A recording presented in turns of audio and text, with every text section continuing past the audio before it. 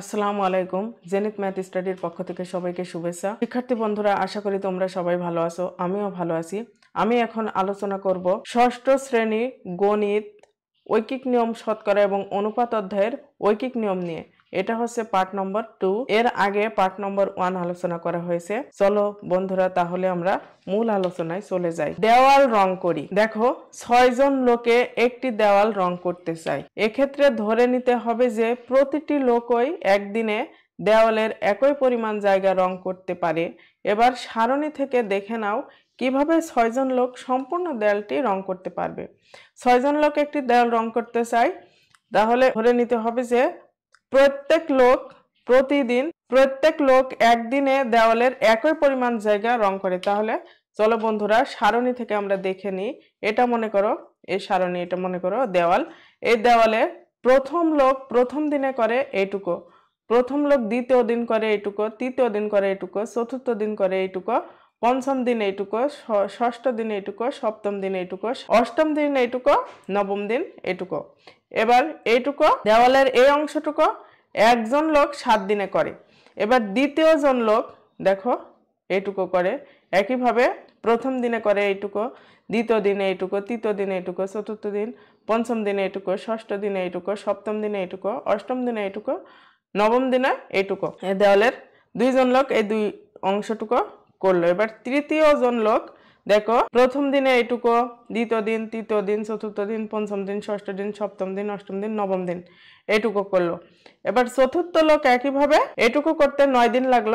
প্রথম দিন, দ্বিতীয় দিন, তৃতীয় দিন, চতুর্থ দিন, পঞ্চম দিন, ষষ্ঠ দিন, সপ্তম দিন, অষ্টম দিন, নবম দিন।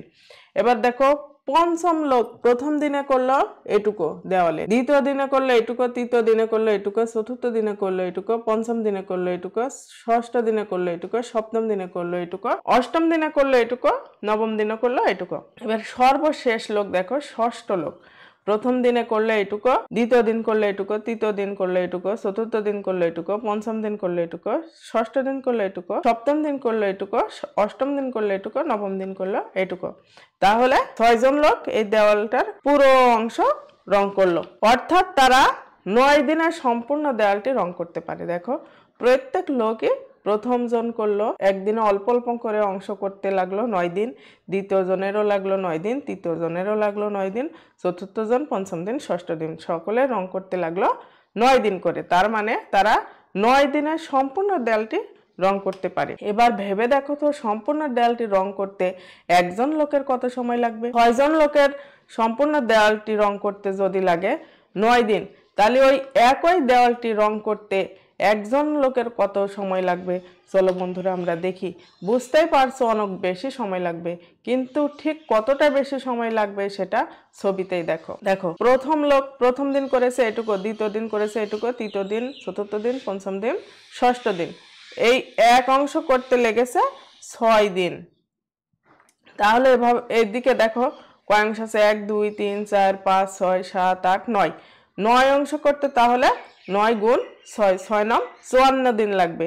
বেশি লাগবে এই যে দেখো লাস্ট পর্যন্ত দেখো চুয়ান্ন দিন লেগেছে। সারণীতে দেখা যাচ্ছে মাত্র একজন লোক সম্পূর্ণ দেয়ালটি রং করেছে, তখন তাকে যখন ছয়জন লোকের কাজ একই করতে হচ্ছে, তাই ছয় গুণ বেশি সময় লেগেছে। দেওয়ালটি প্রথমে ছয়জন লোকের সময় লেগেছিল, নয় দিন।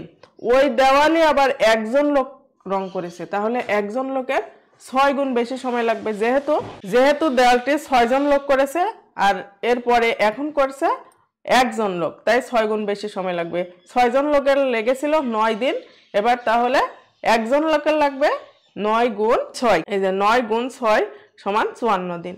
কারণ ছয় গুণ সময় বেশি লেগেছে। তাহলে একজন লোকের রং করতে লাগবে হচ্ছে চুয়ান্ন দিন। এখানে ছয়জন লোক সম্পূর্ণ দেয়ালটি রং করতে যে সময় লাগবে, সেই সময়কে নয় দ্বারা গুণ করে একজন লোকের জন্য প্রয়োজনীয় সময় নির্ণয় করা হয়েছে।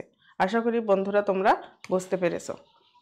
এখন যদি তিনজন লোককে সম্পূর্ণ দেয়ালটি রং করতে বলা হয়, তাহলে কত সময় লাগবে? একজন লোকের রং করতে লেগেছিল চুয়ান্ন দিন।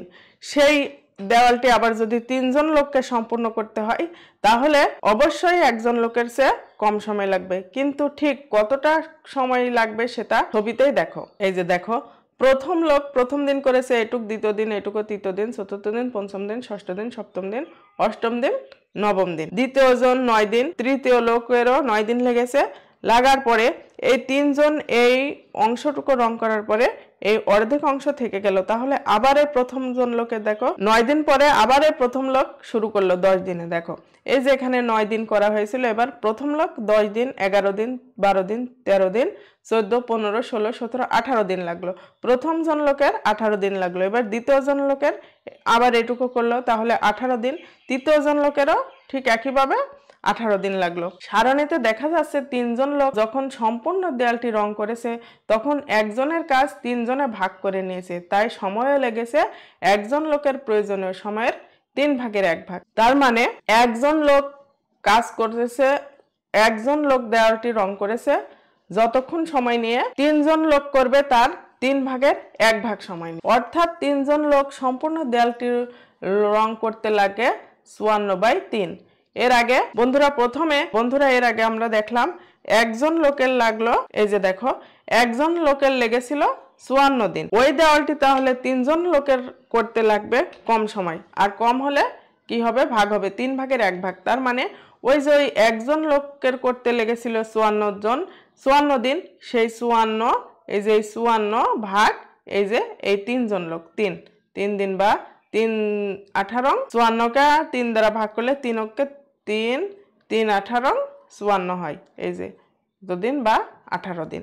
তাহলে তিনজন লোকের কাজটি সম্পন্ন করতে লাগল হচ্ছে আঠারো দিন। এখানে একজন লোকের সম্পূর্ণ দেয়ালটি রং করতে যে সময় লাগে, সেই সময়কে পাঁচ দ্বারা ভাগ করে পাঁচজন লোকের জন্য প্রয়োজনীয় সময় নির্ণয় করা হয়েছে। লোক সংখ্যা কমলে কাজ সম্পন্ন করার দিন বেড়ে যায়, আবার লোক সংখ্যা বাড়লে দিন কমে যায়। লোক সংখ্যা যদি কম হয়, কাজ সম্পন্ন করলে অবশ্যই দিন বেড়ে যাবে। কারণ কম লোকের কাজ সম্পন্ন করতে দিন লাগবে বেশি।